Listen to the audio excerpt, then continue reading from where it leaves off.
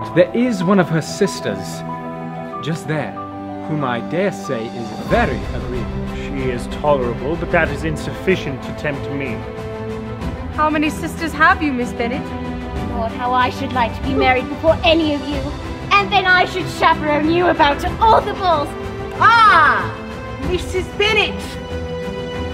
At present, I will say no more, but perhaps when we are better acquainted.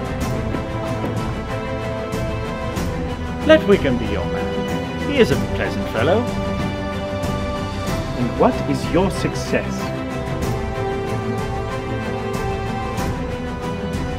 You must allow me to tell you how ardently I admire and love you. I have spoken ill, but mean well, Bennet. You could not have made the offer of your hand in any possible way that would have tempted me to accept it. You are, Mr. Darcy, the last man in the world whom I could ever be prevailed upon to marry.